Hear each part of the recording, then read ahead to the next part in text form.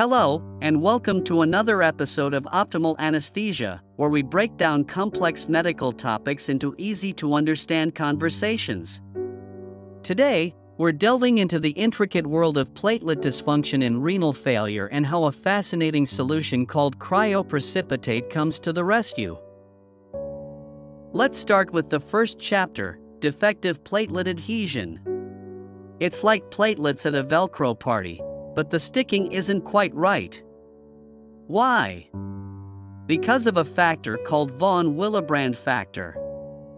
Think of it as giving these platelets a boost, like their very own superhero treatment called desmopressin. Now, onto the second chapter platelet secretion defect. Picture platelets being a bit shy at the chemical party.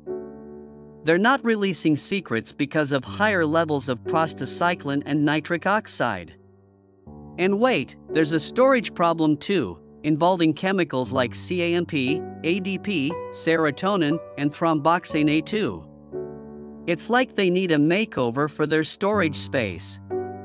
Chapter 3 takes us to impaired GP2B3A function. Imagine a key platelet receptor not doing its job. It's like a gathering where the crucial player is missing. There's a buildup of parts from a protein called fibrinogen. It's as if the puzzle pieces for platelet clumps are not fitting right. Next up, altered platelet membrane composition in Chapter 4. The platelet outfit is changing. These tiny cells are going through a wardrobe shift, affecting how they stick together and form clots. It's like a fashion show, but for platelets.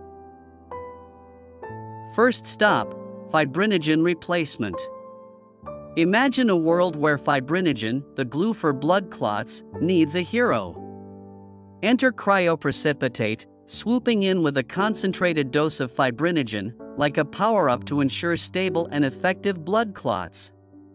It's the rescue mission we've been waiting for, mitigating the risk of prolonged bleeding. Now, let's talk about enhanced platelet function. In this chapter, cryoprecipitate takes center stage with its secret weapons, von Willebrand factor, VWF, and factor VIII. These elements play crucial roles in platelet adhesion and activation, acting like the dynamic duo for platelets facing dysfunction. Cryoprecipitate becomes the ultimate sidekick, addressing adhesion defects and supporting overall platelet function. Moving on to qualitative platelet defects. Uremic patients often face a plot twist with qualitative platelet issues, like impaired secretion and wonky receptors. Here comes cryoprecipitate, armed with a rich blend of clotting factors. It's like the missing puzzle piece, contributing to improved platelet responsiveness and function, turning the tide in our platelet saga.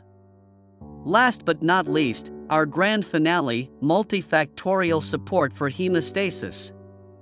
Cryoprecipitate doesn't just stop at fibrinogen and platelet factors.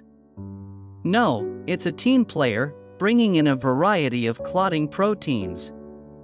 It's like the Avengers assembling for a balanced and effective hemostatic response.